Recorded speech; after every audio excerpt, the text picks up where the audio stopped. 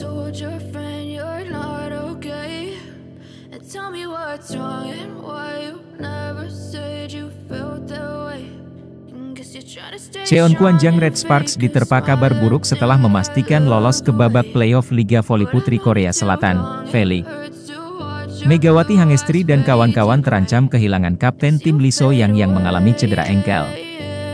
Saat itu pergelangan kaki Lee Soyang mengalami pembengkakan sehingga ia tidak langsung dibawa ke rumah sakit. Pelatih Ko Hye-jin mengungkapkan anak asuhnya itu telah menjalani perawatan selama dua hari terakhir dan didiagnosis ligamen pergelangan kaki kirinya robek. Setelah menjalani perawatan di rumah sakit selama dua hari terakhir, diketahui ligamen pergelangan kaki kiri Lee Soyang robek. Dia membutuhkan waktu untuk pemulihan, termasuk fiksasi awal dan rehabilitasi, ujar dia seperti dikutip dari Naver. Lee Soyang mengalami cedera engkel saat Red Sparks mengalahkan GS Charles 3-0 dalam lanjutan ronde ke-6 Felix, Kamis, 7 Maret 2024. Atlet berusia 29 tahun gagal mendarat dengan sempurna usai melompat dalam upaya melakukan blok pada set kedua pertandingan. Ia langsung ditandu keluar lapangan dan menyaksikan sisa laga dari bangku cadangan. Selain Megawati Hangestri dan Giovanna Milana, Liso yang juga berperan penting dalam kesuksesan Red Sparks musim ini. Ia sempat absen di awal musim karena sedang menjalani masa pemulihan usai operasi bahu. Tanpa kehadirannya, Red Sparks sempat terseok-seok. Namun, setelah dia kembali, tim yang bermarkas di Daejeon Chungmu Gymnasium itu bangkit untuk kemudian bersaing di papan atas.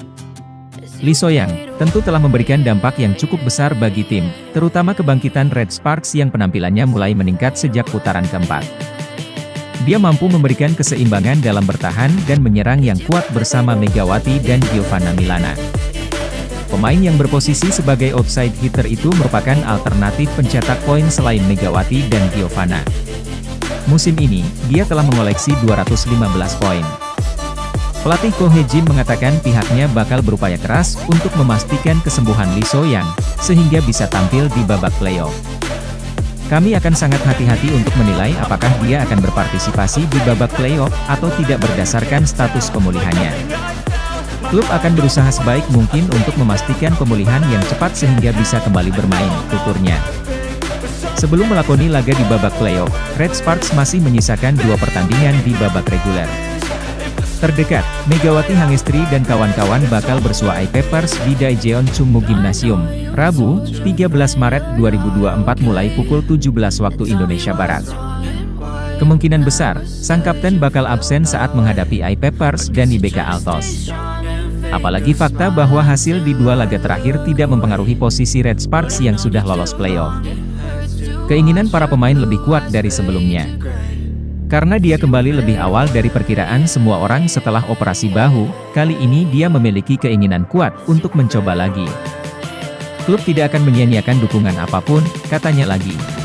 Situasi tersebut membuat Liso yang membutuhkan waktu untuk pemulihan.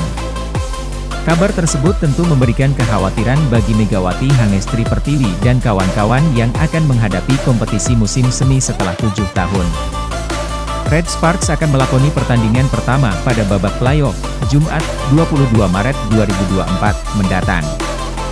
Padahal musim ini, untuk pertama kalinya selama Lee So-yang, bermain dengan seragam Red Sparks mampu menembus babak playoff.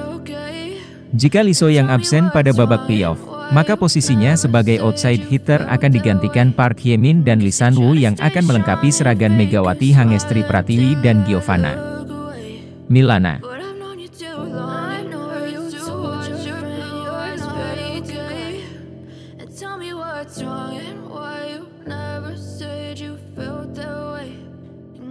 Trying to stay strong and fake a smile until I look away.